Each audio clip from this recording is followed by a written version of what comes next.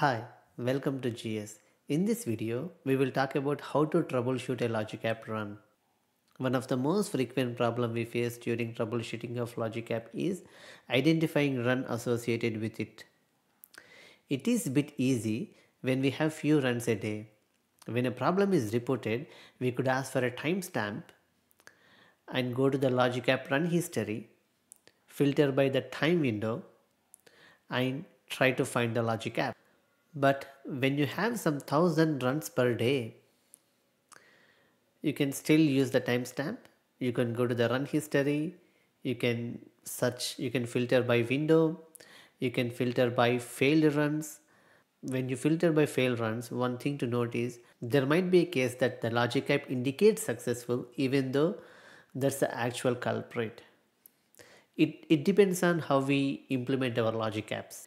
In this video, we will see how to troubleshoot the logic apps, what is the best practices we need to follow during the development so we can debug the logic app super quick in the production environment. Let's get into it. Before you begin, you need to have a log analytic workspace configured for your logic app. Without this, debugging can be a nightmare in production environment. I made another video on what is log analytic workspace and how to configure it. I will leave a link in the description below. You can get it from there. Long story short, when log analytics configured properly, it will ingest log data into workspace repository. We can then go to log analytic workspace, query the logs to see logic app execution details. The next thing needed is to log the data from Logic App. For that, Logic App has a feature called tracked properties. Let's check this out. I'm in my Logic App, edit.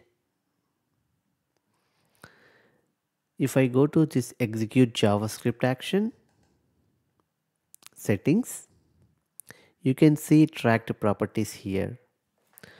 What exactly is a tracked property? How it is useful. You can track input or output of an action using tracked properties. When tracked properties are configured in Logic App, while execution, this data will be ingested to log analytics and it will be associated with run instance. This is very useful for debugging purposes. For example, if you have HTTP trigger logic app like this one, which receives numerous requests from different clients, it is hard to track back which run instance associated to which client. If we log client ID using tracked properties in every run, we can simply query log analytics using client ID and find the run ID. We can use this run ID to find out the running instance. Let's see this in demo. Now Let's configure tracked properties. I'm configuring tracked properties for execute JavaScript code action. We can call it as a client ID. And the value is it's simply output of this action from the body. I'm just logging the ID. Paste this here. Click on done. Click on save this is saved. Now let's trigger a run. Id is 456 let's run it. Received 200 received same request which we passed. Refresh. There is a run at 924 now let's go to our log analytic workspace. Okay, I have the logs from 924 run. Let's find out our tracked property column here. It's supposed to appear here. Okay, tracked client ID. We have this already here. And if you see 456, this is what we logged. And this is what I'm talking about. Now, if I simply do a search contains 456 in our case. Run this. You have one record.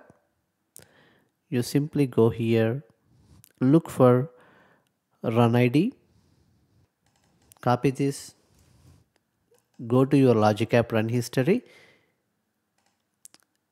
paste the specific run identifier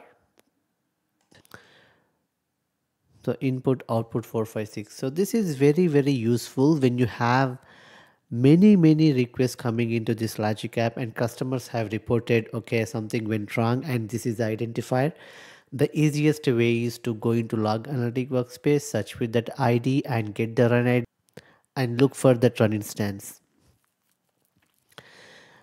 You might be thinking if i filter by failed status I will be getting only few. I can look in those based on the timestamps.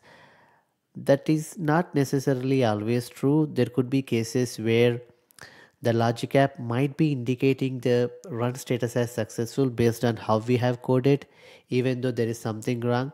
So there are cases where you might want to go into a logic app which was succeeded and see there. And it's very, very tricky if you don't have a timestamp. Let me conclude this one. The best practice here is to diagnostic settings through which you will send the logs to log analytic workspace in this case. Then make sure you configure tracked properties for your logic app. Pretty much this tracked property is the unique identifier which will flow through your logic app which you can use to uniquely identify your logic app. Now use the identifier and search in log analytic workspace and find the run ID related to the logic app. Get the run ID. Go to logic app run history.